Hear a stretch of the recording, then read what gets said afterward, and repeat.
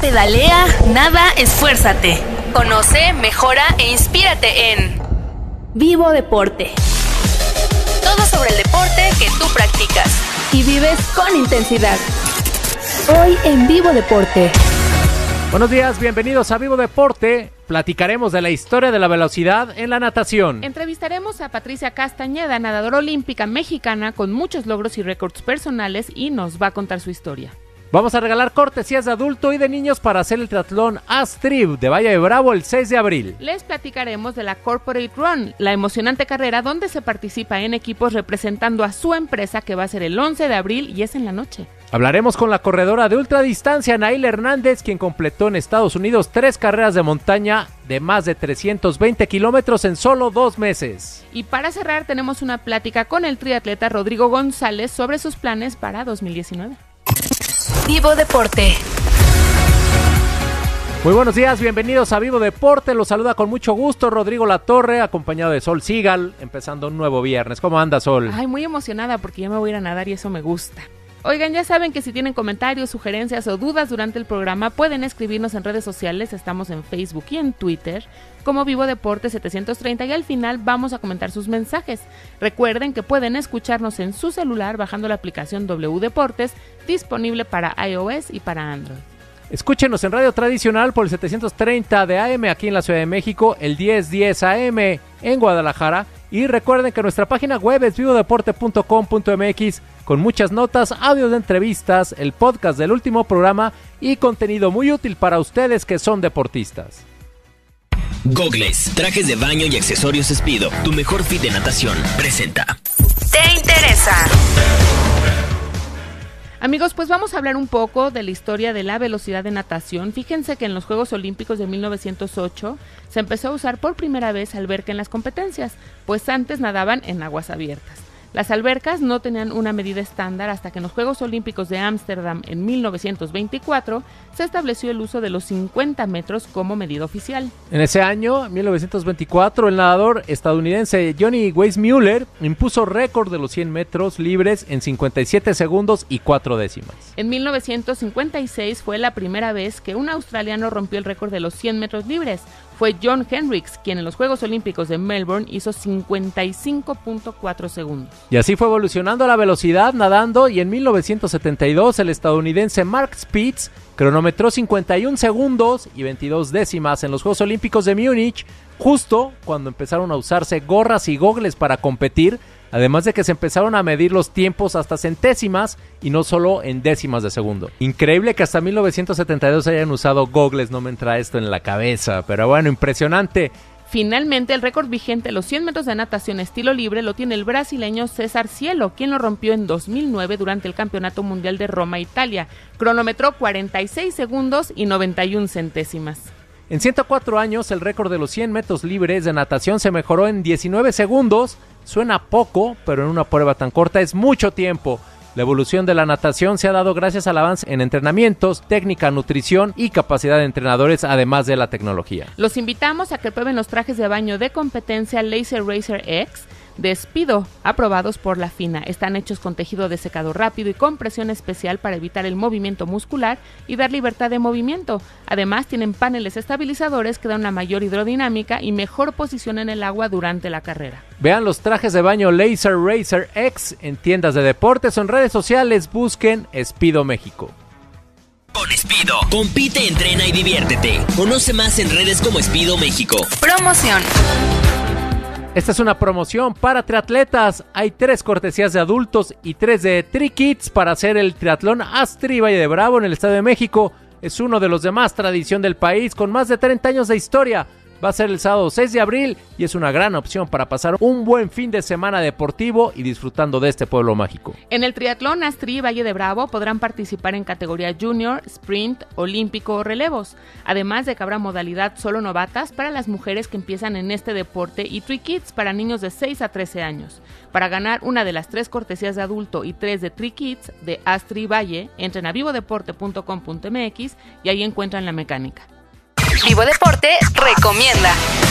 Amigos, les recomendamos que visiten la sección de Sport Science Exchange del sitio web del Instituto Gatorade de Ciencias del Deporte, el DSSI. Encontrarán artículos sobre investigaciones en nutrición deportiva, entrenamiento, rendimiento, salud y bienestar del atleta. En la publicación con el número 120 conocerán las técnicas de recuperación más comunes utilizadas por los deportistas, como la hidroterapia, la recuperación activa, los estiramientos, la ropa de compresión y los masajes. Será muy útil, chequen la nota en gssi.org.mx, sección Sport Science Exchange. Entrevista.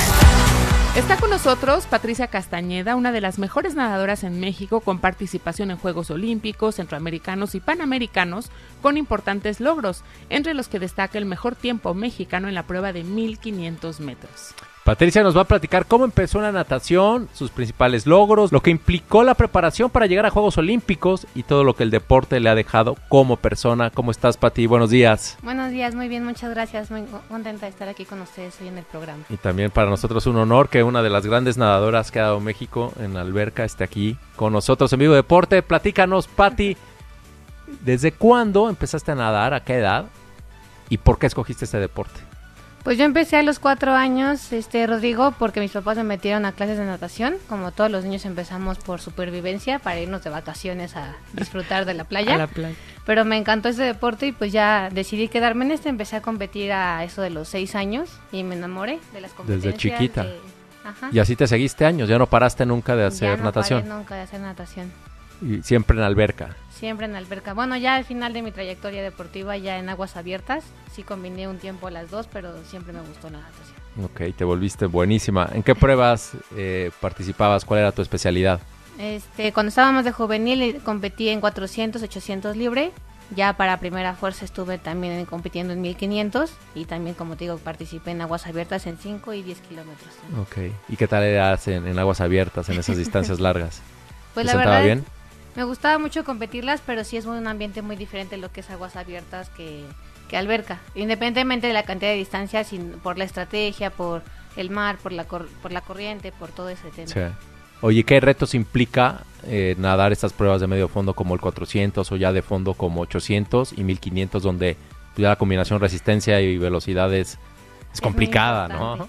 La verdad es que tienes que ser, es sobre todo la estrategia, porque tienes que conocerte muy bien a ti mismo para saber dónde puedes apretar, dónde puedes este, mantener el paso, cómo tienes que abrir, cómo tienes que mantener tus parciales. incluso yo entrenaba hasta el conteo de brazadas, o sea, sabía que, que tenía que hacer 38 brazadas cada 50 y sabía que llevaba una buena velocidad así. Entonces es como todo eso. ¿Y en la competencia vas contando también brazadas? la ¿O ya te olvidabas? ya compitas este en alto, bueno, o sea, en un nivel muy alto es muy difícil estar contando todo el Claro. tiempo tus brazadas, pero te, te lo pueden hacer tantas veces en el entrenamiento todo el tiempo que tú ya te acostumbras y ya sabes cuándo diste una de más, aunque no las cuentes, porque ya sabes que quedaste o más cerca o más lejos de la pared. Digo, Claro. Lo vas Es que- midiendo. Es que lo es casi en automático, ¿no? Como manejar o así, sí. Y es un esfuerzo duro, ¿no? El mantener esa combinación de velocidad y por tantos metros. Sí, la verdad es que sí, digo, por ejemplo, hay gente que me decía, ¿y qué sentías cuando nadabas? Y yo, por ejemplo, cuando nadaba los 1500 metros libre y cuando yo rompí este récord que mencionaron de México, pues en los 600 metros a mí ya me ardía el estómago, o sea, me ardía el estómago del esfuerzo. Sí. Y todavía me faltaban 900 metros para terminar la prueba. La verdad es que fue el esfuerzo de estar manteniendo ese ritmo y también al final ya te duelen los brazos, las piernas, el estómago, todo, todo, Todo. te duele. Te- yo creo que lo que te hace nadar es más el orgullo y, Y el, el- la el corazón. mentalidad. Sí, claro. Oye, ¿y qué- cuánto es tu récord de los 1500 metros libres? 16 minutos 26 segundos. Wow. Y además, bueno, recordar a la gente que libres son scroll, ¿no? Ajá, o sea, tú puedes escoger en libre cualquier estilo, pero todo el mundo se va por crawl. Sí, bueno, por ejemplo, un 200 libre, si lo manejas así, puedes competirlo de crawl o puede ser de dorso, de pecho, de El que mariposa quieras, el o que te, combinado. el que te funcione. Y Pero, además, por ejemplo, el 400, el 800 y el 1500 siempre se nadan de crawl. sí, porque es el más rápido. Ya. Oye, ¿qué otros logros tuviste en tu carrera como nadadora? Pues tuve la oportunidad de participar en tres Juegos Centroamericanos, 2006, 2010 y 2014, y fui medallista de oro en 2010 y 2000, 2006 y 2010. Medallista de plata en Juegos Panamericanos en el 2007, en el 400 y en el 800. ¿En, en qué ciudad fueron? En Río de Janeiro. Ok. Esas medallas son históricas en la natación en México ¿Por porque qué? no se han ganado otras platas en, Ay, O sea, nadie ha ganado en natación medalla de plata más que tú. más que yo. Wow, qué ahora. orgullo. Ay. Y ahí las tienes bien guardadas, Bien guardadas las tiene mi mamá ahí. como un, Sí, como un imagínate. tesoro. ¿Y qué otros logros, experiencias? Este, bueno, participé en juegos, en campeonatos mundiales en Roma y en Shanghái y este y bueno, Juegos Olímpicos en el 2012 también. En Londres. En wow. Londres. Vaya, vaya trayectoria. ¿A qué edad fuiste a los Juegos Olímpicos? A los 22. A los 20. ¿Qué tal la experiencia? La verdad es que es increíble ¿Está lo máximo? porque bueno, ya contándoles un poquito de mi de mi trayectoria como niña, pues a los 10 años yo tomé la decisión de de enfocarme este más fuerte en esta parte de la natación, cambié de entrenador, me fui al Club Alemán de México a entrenar y vi las Olimpiadas de Sydney y me tocó ver a este Ian Thorpe compitiendo Mm. en ese entonces y pues era increíble porque verlo ganar en casa en Sydney y los trajes que se utilizaban en ese momento y Sí. todo eso, entonces a mí me llamó mucho la atención y yo tenía 10 años y le decía a mi mamá, yo quiero ir a unas Olimpiadas, yo quiero ir a unas Olimpiadas. yo no sabía lo que tenía que hacer, ¿no? Pero la verdad es que el sueño nació en mí y me emocionó muchísimo y pues fueron 12 años de trabajo hasta que llegué a cumplir mi sueño. Sí, Así que de- si alguien me pregunta qué sentí, pues la verdad es que son 12 años de, de mi vida que trabajé por ese momento. y tenías 22 años. Y 22. cuando ganaste las medallas de plata en Panamericanos, ¿qué edad tenías? 17. Wow. Haciendo historia a los 17 años. Sí. Oye, está buenísimo. Patricia Castañeda, vamos a ir a un corte comercial y ahorita vamos a regresar a seguir platicando contigo y tu vida en la natación. Estamos en Vivo Deporte, regresamos. Vivo Deporte. Entrevista. Estamos platicando con Patricia Castañeda, ella es nadadora olímpica mexicana que tiene el récord mexicano de los 1500 metros y nos está compartiendo su historia de vida en este deporte y como me conocen yo ya la piel chinita y así. Cuéntame, ¿cómo te preparaste para lograr la calificación a Juegos Olímpicos de Londres en, bueno, en, ve- en 2012? Pues la verdad es que yo me preparé desde cuatro años antes, lo que es un, un ciclo olímpico, porque después de las medallas de Río que les comenté hace rato, yo tenía la marca B para ir a Beijing. Y estaba así de ir, entonces yo a los 18 años yo dije, voy a cumplir mi sueño, voy a ir a Beijing. Y una, com- una compañera de, de selección, Susana Escobar, mejoró mi marca del 800 en ese entonces por 19 centésimas. Así que por 19 centésimas me quedé fuera de Juegos Olímpicos a los 18 años. Y pues obviamente me dolió muchísimo. Fue todo el orgullo y toda la bueno. frustración que puede sentir un atleta. Y desde ahí hasta el 2012 fue una preparación pues muy diferente después de que me pasó la, pues, la depresión y lo que puede pasarle a un atleta. Mi entrenador me dijo pues hay que seguir trabajando, hay que mejorar todo lo que nos falló en este momento. Y pues fueron entrenamientos de lunes a viernes de las cuatro y media de la mañana a 6, 6 y cuarto me iba a la escuela y luego otra vez en la tarde entrenaba de 3 de la tarde a 7 de la noche, así todos los días. Los sábados también dobles sesiones. Llegué a nadar cargas de 20 kilómetros por día, o sea, eran semanas de 120 kilómetros a la semana. Híjole. qué, qué ganas de, de trabajar por un, No, por un logro, ¿no? Por un objetivo, por un sueño. Sí, y bueno, aparte de eso, bueno, hay que sumarle todo lo que tienes que llevar de alimentación, psicólogo y la parte de preparación física también, ¿no? Como el pilates. Es lo que te iba a preguntar, porque haces trabajo en agua donde nadabas 120 kilómetros a la semana y estas cantidades que no puedo ni pensar, pero tienes trabajo en seco, en tierra, con gravedad. ¿no? Ah, sí, también. ¿Ahí qué haces? ¿O qué hacías? Hacíamos gimnasio, este, no, obviamente no como un velocista que es como un poco más de carga muscular, sino este era como un poco más de resistencia a la velocidad. Y este, pero sí hacíamos gimnasio, pilates para trabajar sobre todo el core del cuerpo, yoga para la elasticidad, este, carrera también para la parte aeróbica y pues de todo, de todo, al menos tocaba hacer ligas, entrenamiento de basa también, balón medicinal. ¿Qué tal? Oye, ¿cu- ¿cuántas horas al día era nadar y cuántas horas al día era trabajo en seco o en tierra, como le llaman? Pues en las cargas más altas que llegué a hacer, yo creo que eran seis horas a seis horas y media nadando y de una hora y media este de trabajo físico. O sea, te echabas ocho horas, siete horas, ocho horas al día. Es que es un Al trabajo. día. Ajá. Y nos cuentas además de toda la importancia esta de estar con un psicólogo deportivo, pues claro, la fortaleza mental que necesitas, ya no digas para la competencia, para entrenar esas cantidades, para es un volumen inmenso. Cumplir tu agenda de Sí, porque entrenamiento. la verdad es que estás nadando constantemente en una alberca, en un carril y eh, eh, nadar 20 kilómetros en una alberca de 50 metros son 200 vueltas todos los días. Sí. Y es este- estar aguantando ahí todo el tiempo No, y llegar a entrenar a las haciendo? cuatro y media de la mañana significa que te, a qué hora te despertabas. a las 4, 3.50 de la mañana. A las 4 y 10. 3.50. Y aparte no es como que puedas ir y sin desayunar, o sea, tienes No, que comer claro. un poco de fruta, barritas, licuado, proteína. De... Sí. No, y además estudiaba, o sea, hacía esto y la escuela. Sí, o sea, Sí, ibas sí, a entrenar, ibas a la escuela y no te estabas durmiendo en la escuela. en- después Sí. del entrenamiento Sí. tempranero. Sí, de Sí, repente en claro. lo que te acostumbras, estás muy cansado, hay veces que sí te están hablando y te estás durmiendo Sí, y claro. de repente escribes chueco, no lo sé, pero buscas toda la forma de despertarte, pero creo que todos nos pasa, a todos nos pasa. Sí, claro. ¿Dónde entrenabas? Entrenaba en Jalisco. En, Jalisco. Es que a los 15 años me fui a Jalisco a entrenar con este Paul Bergen. Ajá. Este, una- ¿El quién es? Es un entrenador de, bueno, de elite mundial. Fue entrenador de meda- medallistas olímpicos de Estados Unidos, incluso de Holanda también. Y pues lo trajeron a México a hacer un proyecto muy interesante entre Chivas y el CODE Jalisco. Y duró un año hasta que este Jorge Vergara vendió el club. Ah, Y entonces ya se tuvo que retirar este Paul. Sí. Y se retomó, se, se quedó mucho de la enseñanza que él dejó y lo retomaron entrenadores mexicanos de, de allá de Jalisco. Ok. ¿Y qué alberca nadaban? En Chivas, al principio O nada sea, más era ahí la de. Chivas y luego cuando se vende el club. Nos fuimos a la alberca del CODE, del Ok. CODE Alcalde, que es el primer CODE que está. Y ya hasta el 2011, que fueron los Panamericanos en Guadalajara, fue cuando ya nos mandaron a entrenar para allá. a la alberca de primer nivel. Para- Sí. Y ahí entrenaban en esta alberca, la de los Panamericanos, que está Sí. espectacular. Es que yo te quiero preguntar para los que nos escuchan qué es el CODE, porque a nosotros no es un len- lenguaje habitual, pero Ah. para ellos no saben Bueno, qué es el el CODE CODE. es el Instituto del Deporte de, de Jalisco. Ok. Son El las instalaciones como oficiales. Ajá. ¿Municipal o estatal? Estatal. Y Ok. tiene, tenía la alberca, el gim- un gimnasio, también había un domo de básquetbol. Y bueno, tenía otros deportes, pero también había un albergue chiquito, pero pues un albergue para, para deportistas. Y ahí, Ahí es donde vivías tú vivías. Ahí vivía Y de ahí te despertabas y te ibas caminando a la alberca. a la alberca, sí. Regresabas a... Digo, cuando estaba en Chivas me iba me iba en taxi o a veces pasaban por nosotros. Yo me llegué a ir sola en taxi a los 15 años a, de, del CODE a Chivas y eran como 10 minutos de camino. Pero pues estás hablando que era una niña de 15 años Sí. a las 4 de la mañana ahí en la calle tomando un taxi, ¿no? Sí. Y a mi mamá le daba el infarto. Era No, bueno, de, claro. ¿Por qué haces eso? Y yo, porque no puedo faltar a entrenar, no me Sí. van a regañar.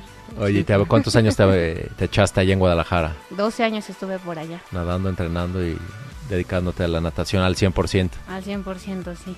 ¿Y cómo lograste la calificación a los Juegos Olímpicos de Londres 2012? La calificación la conseguí un año antes, en el 2011, en la alberca de Veracruz, en Boca del Río. ¿Y cómo, se eh, había una competencia, la que ganaba calificaba a Juegos Olímpicos? ¿O cuál es la mecánica para ganarte un lugar a unos Juegos Olímpicos? Bueno, casi siempre se abren un año antes, de un año a año y medio, año tres meses, perdón, antes, este, para que puedas dar una marca. Hay marca A y marca B. Y si me das la marca B, nada más puede ir un atleta de cada país en esa prueba, si es que la llega a dar. Si dan marca pueden ir dos atletas de ese país. Y una vez que la tienes, este, ya puedes participar.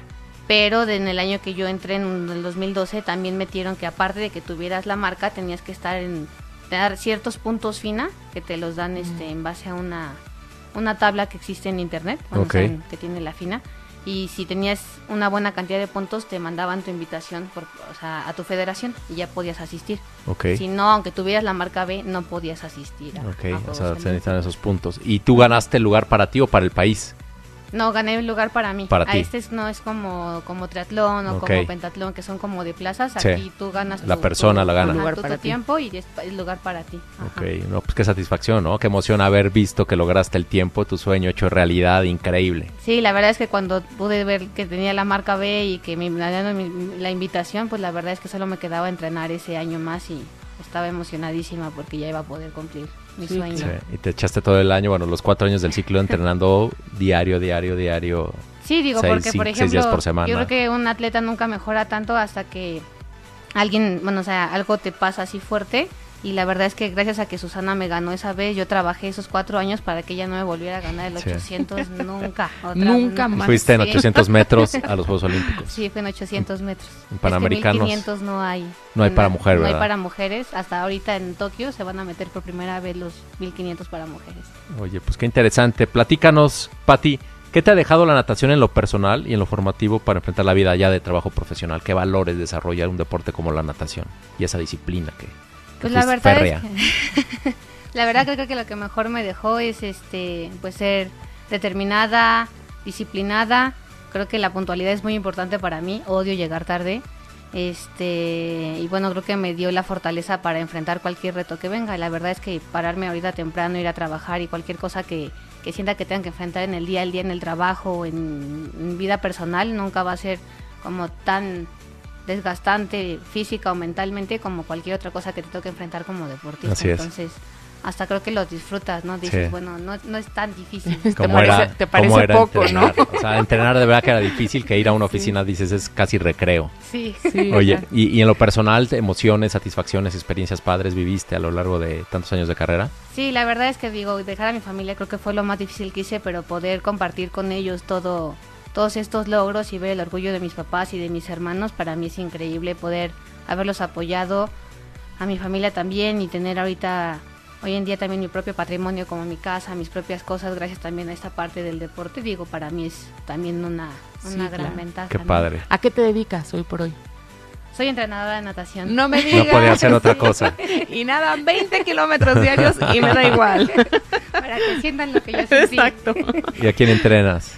Entreno a niños, a infantiles, de Ah, 7 qué- y 8, 9 y 10 y 11 y 12 años en el Club Sensodep, en el Centro Deportivo Cultural José López Portillo. Ok. Ahí ¿Esto es en dónde es? estoy trabajando. ¿En dónde es? Está por este Santana, Avenida Santana, está al lado del ECIME de Culhuacán. En Ciudad de México. Ajá, aquí en Ciudad de México, ¿Qué en la delegación Coyoacán. Ahí es donde estoy trabajando. Imagínate nadar en manos de esta señora. Qué padre, sí. No, bueno, algún Mm, día. Grandes nadadores estás haciendo. No, Sí, la verdad es que para mí es increíble. Digo, sí, disfrutaba mucho ser nadadora y algún día yo pensé que nunca iba a querer ser entrenadora porque tengo que reconocer que, perdone, que, que soy química farmacobióloga. Mm. Yo estudié esa carrera y la verdad no pensé dedicarme a ser entrenadora y ya después que me, me- me pidieron el favor de agarrar un grupito ahí en Guadalajara y me enamoré de esto, pues ya fue cuando decidí estudiar la segunda carrera. Ay, Padre. qué tal, Y a qué seguir en tu pasión. No hay como dedicarte a lo que realmente te gusta. Sí, Sí. Pati, déjanos datos de contacto, si alguien te quiere buscar, si alguien algo, redes sociales, Sí, algún claro teléfono. que sí. de- mi página de Facebook es Pati Castañeda Oficial y mi Instagram es Pati-Castañeda 90. Pues ahí, cualquier cosa que necesites. Sí, Pa- pa- Pati Castañeda, 90. 90. ¿Cuántos años sí. tienes hoy? 28. 28, ya casi Ok. 29. Y ve la historia Del que 90. tiene. Sí, No increíble, haciendo historia. Estás increíble. Muchas gracias por estar aquí con nosotros y contarte. A mí, yo me emociono con estas historias muchísimo. Muchas Ah, gracias. Muchísimas gracias. Nosotros amigos vamos a un corte, estamos en vivo deporte, pero regresamos con mucha información. Vamos a hablar con Rodrigo González, triatleta, y del circuito de las estaciones. Regresamos. Vivo Deporte. Nación Running, el lugar para los corredores que quieren ser mejores y vivir una gran experiencia. Presentado por Haz Deporte.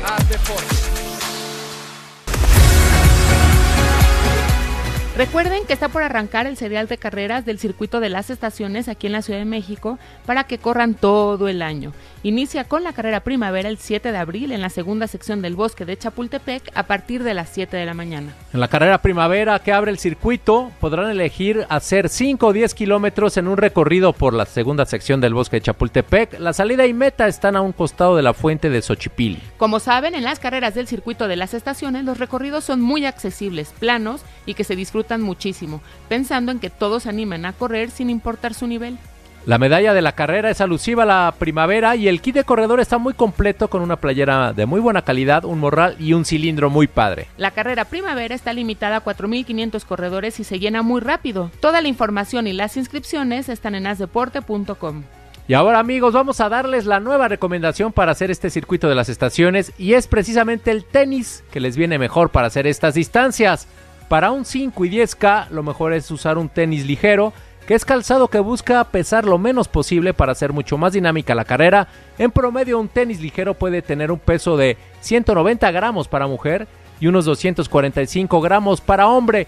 Y por otro lado podemos encontrar muchos tenis arriba de 320 gramos que son para distancias largas. Esta diferencia de peso se debe a que un tenis ligero se construye con menos componentes, pensando principalmente que los utilice gente que tenga buena técnica para correr o bien para quien corra distancias de 5 y 10 kilómetros. A ver, para dejarlo más claro, un tenis ligero de unos 245 gramos se fabrica con la amortiguación exacta, no tiene algunos materiales que encontramos en tenis de larga distancia como los soportes de talón, estructuras que dan estabilidad a la pisada o gel en suela que aumentan el peso del tenis. El uso de tenis ligeros puede ayudar a la eficiencia y técnica con la que corremos. Esto se refiere a la manera como inclinamos el cuerpo, dónde aterrizamos el pie, a qué tanto levantamos los talones, al movimiento de los brazos, además y muy importante a tener una mejor frecuencia de zancada. Recuerden, para un 5 y 10K podemos usar tenis ligeros, nos ayudará a mejorar nuestros tiempos. Un tip más para la carrera primavera del circuito de las estaciones. Recuerden, es el 7 de abril. Circuito de las estaciones. Vive una gran experiencia y corre todo el año. Conoce más en asdeporte.com. Tuvimos la oportunidad de platicar con Rodrigo González, embajador de la marca ASICS. Estuvo en la presentación del calzado Meta Ride hace unos días. Rodrigo es uno de los triatletas más destacados que tiene México, participó en Juegos Olímpicos de Río 2016 y ha logrado importantes triunfos como el quinto lugar en el evento de la Serie Mundial en Bermuda, el tercer lugar de la Copa del Mundo en Chengdu, China y oro en Juegos Centroamericanos del año pasado. Rodrigo nos habló de cómo cerró 2018, que viene para 2019 y sus planes y expectativas de participar en Juegos Panamericanos de Lima, Perú y en Olímpicos de Tokio en 2020. Vamos a escuchar lo que nos contó Rodrigo González. Estamos con, con, Rodrigo González, triatleta mexicano de los más importantes hoy en día y además es eh, embajador de ASICS, una de las grandes marcas de tenis y calzado deportivo. ¿Cómo estás, Rodrigo? Buen día. Muy bien, muchas gracias. Platícanos cómo pinta tu año. Dinos un poquito tus planes para estos primeros tres meses de 2019 en el triatlón. Pues este año pinta bastante interesante, eh, bastante ocupado y con muchos viajes, porque por ser un año de clasificación olímpica, eh, pues sí hay que competir bastante las Copas del Mundo y las Series Mundiales para tener buena puntuación en el ranking olímpico. Y bueno, estos primeros meses, en marzo voy a competir tres veces.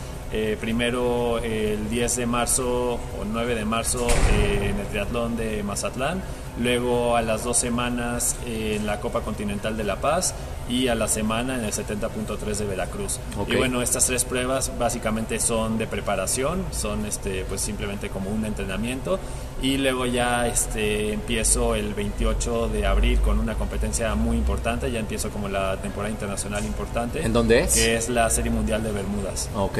Que te y, fue muy bien el año pasado. Sí, quedé quinto, entonces pues obviamente habrá que repetir o mejorar ese resultado. Fue, fue un resultado histórico. Sí, y este y bueno a la semana una semana después de la serie mundial de Bermudas está el campeonato panamericano en Monterrey y una semana después está la Copa del Mundo de Chengdu en China. Okay. entonces van a ser tres semanas intensas de estar compitiendo y las tres pruebas puntúan para el ranking olímpico. Okay. y el, el, evento de China fue el que ganaste también que sí ese evento este gané en el 2016 el año pasado quedé tercero. Entonces bueno sí es un evento en el que generalmente me va, Te bien, va bien. y espero que así siga siendo. Es Copa del Mundo allá en China. Así es. Buenísimo y este año son Juegos Panamericanos en, Lima, en Perú. Platícanos cuál vas a ir, cuál es tu expectativa, un poco el nivel. Pues de momento todavía no se ha eh, comunicado, no se ha hecho oficial quién va a los Juegos Panamericanos, pero bueno, creo que está bastante claro por el, este, pues por el rendimiento, creo que pues ya se sabe que lo más probable es que vayamos Crisanto Grajales, Irving Pérez y yo y la verdad es que me siento bastante bien para este evento. Creo que es un evento pues donde sí va a haber buen nivel, donde hay este, algunos atletas, sobre todo estadounidenses y canadienses, que son buenos, pero bueno, no hay ninguno al que no le haya ganado antes. Entonces, definitivamente, pues el objetivo principal para esa competencia va a ser estar en lo más alto del podio. Okay, o sea, sería buscar una de las tres medallas. Sí, y bueno, este, realmente, o sea, por lo menos estar en el podium, pero realmente, pues sí tengo el objetivo de ganar los Juegos Panamericanos. Llevarte el oro. Sí. Oye, ¿qué distancia se va a hacer en, en, en Panamericanos? Eh, va a ser distancia olímpica, pero luego también va a, va a, estar la modalidad de relevos mixtos, entonces ahí cada quien hace un triatlón distancia super sprint y bueno, es este en orden de mujer-hombre, mujer-hombre. Y es por, por país también el equipo de relevos. Sí, es por país. Ok, ¿nos puedes repetir las distancias olímpicas para que la gente se familiarice? Sí, son 1500 metros de natación, 40 kilómetros de bici y 10 kilómetros corriendo. Ok, ¿y este formato explosivo de, de, relevos, las distancias que hace cada quien? Eh, es variable, no hay unas, una distancia fija, pero realmente la natación suele ser entre 300 y 400 metros, de bici suele ser entre 6 y 10 kilómetros y de carrera suele ser alrededor de una milla, aunque llega a ser hasta 2 kilómetros, pero esas eh, distancias son eh, variables. Es una prueba agotadora de muy pocos minutos. ¿Cuánto tiempo se hace en un...? Sí, son pruebas de alrededor de 20 minutos, entonces realmente pues sí es una intensidad muy alta durante toda la 20 carrera. minutos. Y, y se cuenta los tiempos de los integrantes del relevo. Eh, sí, bueno, el primero sale una mujer, entonces la, cuando la mujer termina le da la mano al hombre, que es el que sale, luego otra mujer y otro hombre. Y el, pues, el cuarto del relevo, o sea, el, sí, la cuarta persona del relevo es la que llega a meta y pues ahí es okay, la, donde se define. La suma de tiempos de los cuatro, sí. dos hombres, dos mujeres. Sí. Va a ser súper emocionante y también va a haber este, esta modalidad en Juegos Olímpicos en Tokio 2020, ¿verdad? Sí, también va a estar esta modalidad en los Juegos Olímpicos. Oye, ¿ya estás entrenando a full entonces? Sí, sí, ya pues esta temporada este, la verdad es que estoy entrenando bastante, bastante bien, sin ningún problema, entonces pues estoy contento con cómo ha ido la preparación y pues también muy emocionado por lo que viene. Qué bueno, ¿sigues con el profesor Eugenio Chimal? Sí, sigo con el buen profesor Eugenio Chimal. Un gran equipo. Contento. Perfecto, Rodrigo. Y después de Panamericanos, un poquito cómo, cómo está tu agenda en el resto de 2019 y más pensando en, en puntuar para Tokio 2020. Básicamente van a ser los eventos de Copa del Mundo y de Serie Mundial, que son los que puntúan para la clasificación olímpica, y pues sí hay muchos eventos, entonces este, será ya ir viendo sobre la marcha este, cuáles convienen más que otros, y también, eh, depende de la estrategia que se tenga para este, si seguimos pues todavía con posibilidades de meternos, de clasificar un relevo a Juegos Olímpicos, pues también habría que hacer las pruebas de relevos y si no, pues simplemente sería seguir compitiendo en las okay. ¿Cuántos puntos se necesitan para tener la calificación olímpica?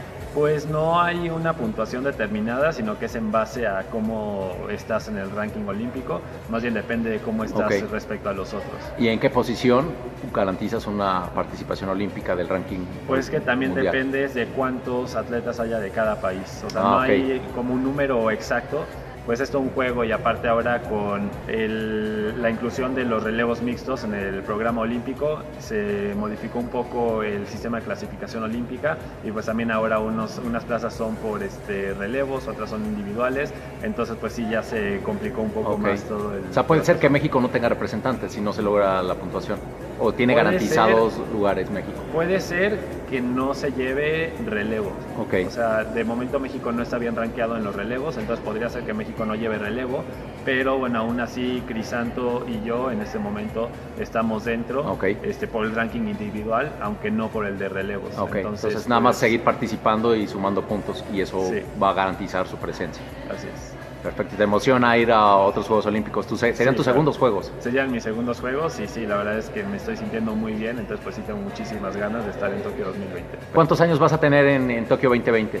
Voy a tener 30 años. 30 años. ¿Y, y- y te daría para ir a París 20, en 2024? Sí, yo creo que me da perfectamente. Nada más, bueno, será.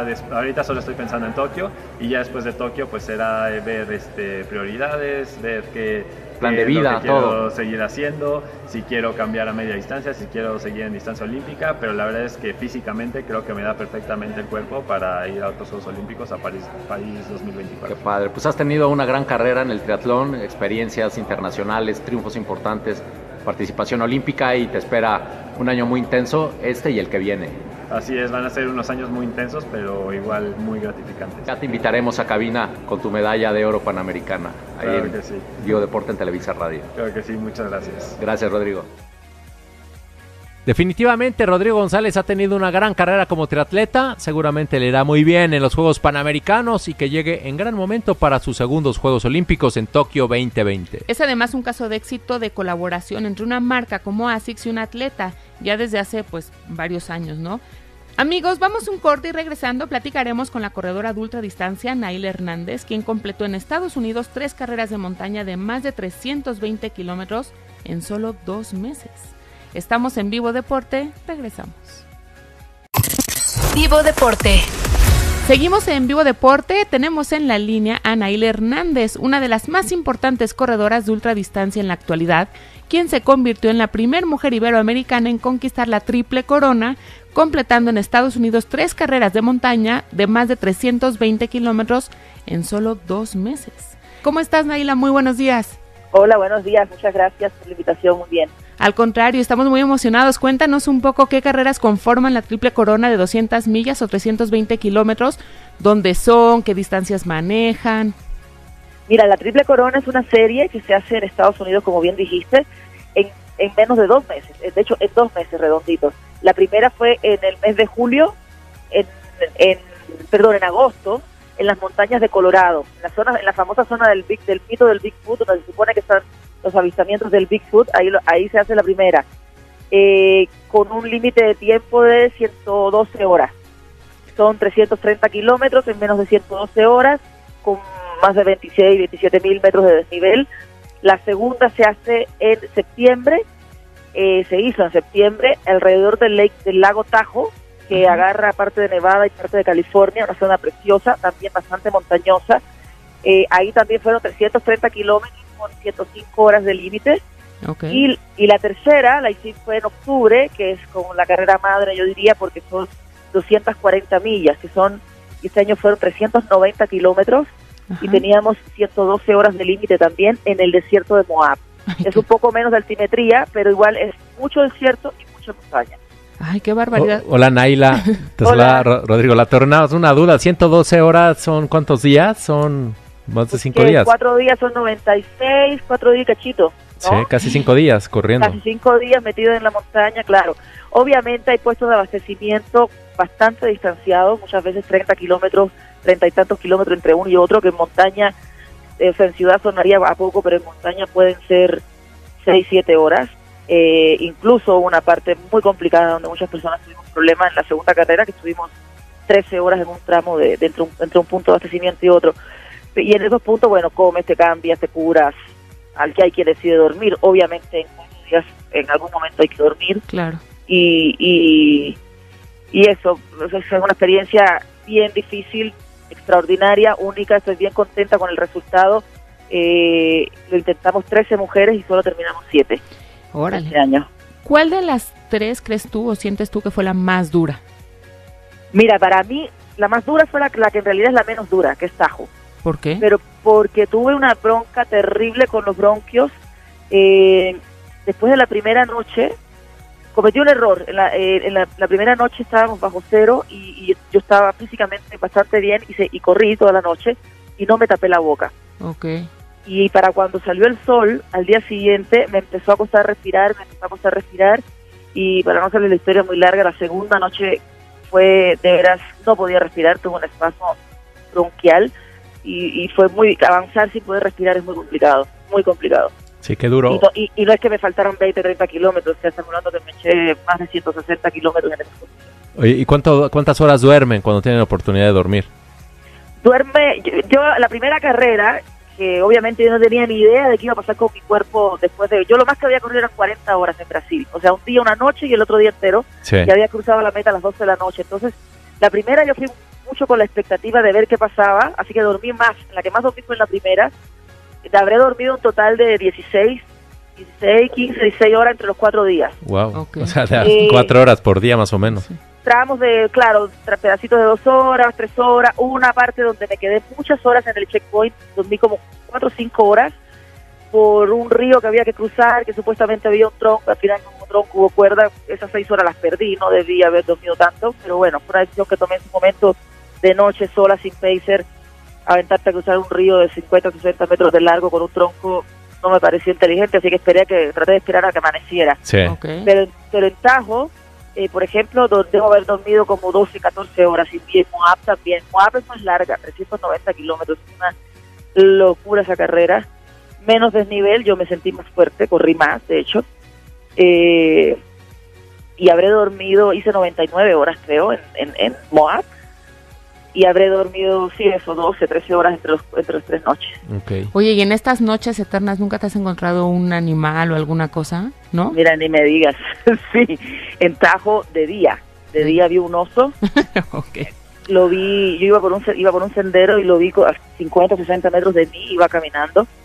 Eh, y la experiencia fue muy rara porque uno sabe, yo obviamente no me informé de lo que hay que hacer cuando te encuentras con un oso pero nunca piensas, ¿no? ¿Qué te va a pasar? No, no, no, o sea, nunca has sentido un miedo que sientes que se te sale el corazón a un nivel que crees que te va a dar un infarto. Así me sentí. No, bueno. O sea, me tuve que concentrar más que en el oso, concentrarme en, en, calmarme. en que no se diera cuenta que estabas asustada. Exacto, y calmarme yo porque dije, se me va a parar el corazón aquí, o sea, o me controlo o me voy a caer muerta. Claro. Oye, y al final de, de todas estas historias y tal, ¿con qué sensación te quedas? No, estoy feliz. O sea, yo es una carrera que, que llegué sin, la, sin ningún tipo de experiencia en, en, tantas carreras tan largas seguidas. Así que todo fue, todo salió redondo. La verdad es que estoy bien contenta. Fui la única no gringa que lo, que lo ha terminado. Eh, no, no recuerdo el, número exacto, pero creo que lo hemos terminado 10, 12 mujeres en, todo el, el tiempo que lleva la Triple Corona y de esas 10, 12 mujeres yo soy la única no, no norteamericana. Entonces se siente bien, padre, eh, pues estar en ese grupo, honestamente. Sí, claro. Sí, no, felicidades, de verdad es un, de gran mérito y es una hazaña física y mental increíble. Oye, Naila, platícanos, ¿qué planes tienes de carreras para este 2019? Mira, estoy en lista de espera, crucemos los dedos, estoy, sigo en lista de espera como desde hace tres años para ir al Polo Norte. Polo Norte es un maratón, hace los primeros días de abril estamos ya a nada. Okay. Pero, pero si va a haber cubo me voy a enterar probablemente literal 10 días es que estoy en lista de espera porque porque estaba la carrera eh, yo iría por invitación. Ah, la carrera muy costosa, vale como 16 mil, creo, 17 mil euros la inscripción. Entonces, y el director eh, de, de, esa, de esa carrera es es muy amigo de nos, eh, mío y, bueno, obviamente quiere dar oportunidad a corredores latinoamericanos a estar allí, pero tiene que ser que se baje alguien. Sí, Ya pasó una vez, yo estaba en Suecia corriendo, casi me corto la venas.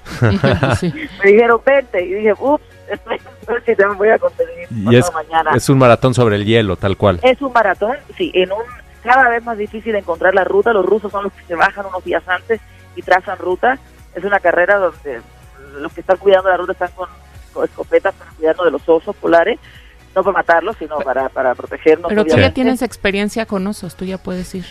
Eh, pero polares no. Ah, ok. Son peores. Son más malos. Los, pardos de los Estados Unidos. los osos negros y los grizzly. Y después, eh, bueno, eso sí se da, lo de Polo Norte, increíble. Y si no, eh, ni modo, seguir esperando otro año. Y el proyecto más lindo que tengo para este año es, es una carrera de, de 160, 162 kilómetros en Berlín que se hace en agosto y es alrededor del ex muro de Berlín. Es una carrera que cada año se dedica a una persona que murió intentando cruzar el muro. Eh, creo que viene muy ad hoc en los tiempos que estamos. Para mí tiene un significado que trasciende lo deportivo, como siempre es el tipo de cosas que me gusta hacer. Y es un 100 millas, creo. Creo que el límite de tiempo es de 24 horas, es 100 millas rápidas. Y son 160 kilómetros. Creo que son como 162, 163, sí, pero típico 100 millas, básicamente. Sí, rodeas toda la muralla. Exactamente, rodeamos todo lo que fue el muro de Berlín. Ok, sales y regresas al mismo punto. Exactamente, principalmente pavimento y creo que corremos 200 o 300 personas. Ah, buenísimo, qué padre. Sí, sí, muy padre experiencia, se me antoja mucho. Oye, Naila, aparte de tu pasión por correr esta ultradistancia y estar en contacto con la naturaleza, también te ha llevado a organizar experiencias para que la gente viva este deporte, ¿no? Cuéntanos qué es este proyecto Experience que estás, bueno, bueno, cuéntanos qué es. Mira, los proyectos de Experience es parte de, un programa que tenemos en Rompiendo Límites. Rompiendo Límites es la empresa que tengo con, con Cristian Cide, que, con sede en Chile. Y lo que hacemos es llevar a la gente, a los corredores esencialmente, pero también a los, a los que no son todavía muy experimentados, a que vivan en pequeñito lo que se vive en una carrera multidía. Esto te permite, eh, primero que si, o sea, si te estás preparando para una carrera multidía, que hay millones de carreras maravillosas en el mundo, puedes ir y experimentar más o menos en un entorno mucho más controlado y sin una sin presión competitiva y sin tú cargar los 8 o 10 kilos de la, espalda, lo que sucede y lo que se vive en, en, una carrera de varios días. Básicamente dormimos en el desierto, eh, bueno, en el lugar donde se haga, porque tenemos en el desierto, tenemos en la Patagonia, tenemos en varios lugares, es llevar a la gente a vivir una experiencia de correr, interactuando con, con personas que tenemos más experiencia, que es bien rico en las noches como te preguntan cosas, compartirles información útil de acuerdo a lo que cada quien está preparando, lo, lo que cada quien está entrenando. Y, y la verdad ha sido bien buen, bonita experiencia, ya hemos hecho como tres o cuatro, y este año tenemos dos en Atacama, una en la Patagonia, y en noviembre nos vamos a llevar gente a un experience un poco atípico, vamos a llevar gente al Maravana. El Maratón de La Habana se hace en noviembre, un maratón que se ha hecho ya muchos años, y, y vamos a llevar gente a vivir una experiencia cubana. Oh, qué padre. Ah, maravilla. sin paquetes de avión, sin paquetes turísticos ni nada de eso. O sea, Much- mucha fiesta. agar- exacto, nos vamos a, a casa de cubanos, vamos a comer comida de cubanos y nos vamos a ir a la playa que vamos los cubanos y, y a correr el maratón en La Habana. Y padre. se llama Mara Habana, ese maratón. El Maravana, sí, el Maravana nombre. maratón que hace hace muchos años, lo corren 2.000 o 3.000, no es muy masivo. Ok. Van, sí va gente de muchos países, muy pocos cubanos lo corren. Naila, ¿y en México para cuándo alguna experiencia de estas? Ya estamos masticando dos o tres, ahí estamos, ahí estamos rumiando, traigo, traemos una- algunos proyectos en, Real de 14 y también acá cerca de la Ciudad de, Medi- de México. Así es, estaremos muy pendientes y esperemos que también que nos avises para que nos platiques de esas experiencias que hagas aquí en México. Eh, ¿Dónde te puede seguir la gente, Naila Hernández? En redes sociales me encuentran como Nail Hernández en Twitter, en Instagram y en, y en Facebook y en mi página nailhernández.com. Ahí podemos estar en contacto para lo que sea que se les ofrezca. Perfecto, pues estaremos muy pendientes de todo lo que hagas. Eres un ejemplo y la más grande corredora de ultradistancia mexicana. Muchas gracias, un abrazo a ustedes. Gracias, Naila. Y amiga de Gracias. Vivo Deporte, por supuesto. Así. Gracias, Sí, Nail. Buen día. años ya, igual, chao. Vamos a un corte comercial. Al volver les hablaremos de por qué es importante hacerse una química sanguínea para ver nuestro estado de salud y les platicaremos de la Corporate Run 2019. Estamos en Vivo Deporte. Regresamos. Vivo Deporte. Lapi Laboratorio. Nos interesa tu salud. Nos interesa tu futuro. Presenta. ¿Sabías que? La química sanguínea de seis elementos es un estudio de laboratorio que mide niveles de algunas sustancias como glucosa, urea, triglicéridos, colesterol, ácido úrico y creatinina, lo que nos ayuda a conocer el estado del metabolismo, exceso de grasa o azúcar en sangre, funcionamiento de los riñones y es fundamental para conocer nuestro estado de salud. Por ejemplo, identificar niveles de glucosa altos es básico para el diagnóstico de diabetes. El análisis del ácido úrico, que resulta en niveles altos, nos indica una dieta abundante en proteínas, lo que representa riesgos en enfermedades como gota, los cálculos renales o insuficiencia de en los riñones. Los niveles de colesterol alto representan un riesgo cardiovascular por la acumulación de tejido graso en las arterias, provocando endurecimiento y obstrucción del paso sanguíneo. El estudio de los niveles de triglicéridos, al igual que el del colesterol, nos permite identificar si hay riesgo cardiovascular por la presencia de grasa en sangre y poder determinar tratamientos para bajarlos. La creatinina y la urea son marcadores en sangre que nos indican el estado y funcionamiento de los riñones para así poder diagnosticar si hay alguna insuficiencia. Es por esto que es importante hacernos en un laboratorio médico la química sanguínea de seis elementos de manera rutinaria de una a dos veces al año para prevenir alguna enfermedad o para detectarla si es el caso, lo que nos llevaría a que un especialista defina una estrategia correcta de dieta y un plan de ejercicio para mover los niveles de estos seis elementos a rangos sanos. Perfil Fitness, el estudio de laboratorio para deportistas. Conoce más en lapi.com.mx. Competencias y eventos. Estamos a un mes de la Corporate Run 2019. Es un formato de competencia único donde los corredores participan por equipos representando a su empresa y corren 5 kilómetros. Estos equipos son de cuatro corredores y pueden ser varonil, femenil o mixto, con dos hombres y dos mujeres. Las empresas pueden inscribir a los equipos que quieran. La Corporate Run se correrá el jueves 11 de abril a partir de las 8 de la noche en el infield del Hipódromo de las Américas aquí en la Ciudad de México. Va a estar muy emocionante la carrera, pues habrá premio para el ganador individual absoluto de cada rama y además un trofeo para el mejor equipo por categoría. También habrá un concurso para seleccionar al equipo con la mejor playera y se premiará a la empresa que más equipos haya inscrito. Para estar cómodos, las empresas pueden rentar una carpa para atender a sus corredores. Está muy buena la Corporate Run. No se pierdan este original formato de carrera de 5 kilómetros. Recuerden, es el jueves 11 de abril a las 8 de la noche en el Hipódromo de las Américas. Las inscripciones están en totalrunning.com. Vivo Deporte. Papás, les pasamos el tip que viene el curso de Semana Santa en Sporting Club Del 15 al 26 de abril, los niños de 4 a 13 años tendrán un mundo de juegos y actividades recreativas para entretenerse bajo la guía y el cuidado del staff capacitado del club. Van a disfrutar a lo grande con alberca, las canchas deportivas, salones de clases y hasta muro de escalar. El curso de Semana Santa aplica también para niños que no sean usuarios del club y pueden inscribirse por una o dos semanas. Habrá además una salida el 26 de abril a Six Flags Huastepec y el resto del curso serán actividades recreativas y juegos. Más información en sportium.com.mx o llamando al 1000 2500. Vivo Deporte te escucha. Muchas gracias a la gente que nos escribió por redes sociales, en Facebook, en Twitter. Ahí les iremos contestando. Mucha suerte a los que este domingo hacen el medio Ironman 70.3 en Campeche. Sí, además hay la carrera del agua aquí en México, pero va a estar increíble. Niños, muévanse, no hay pretexto para estar echados en el sillón. Ya saben que en Vivo Deportes siempre vamos a promover el deporte. Y síganos en nuestra página web que es vivodeporte.com.mx con audios de entrevistas, el último programa y mucho contenido útil para ustedes. Se acabó Vivo Deporte, nos vemos el próximo viernes. Muchas gracias, hasta luego. Corre, pedalea, nada, esfuérzate. Conoce, mejora e inspírate en Vivo Deporte. Todo sobre el deporte que tú practicas y vives con intensidad.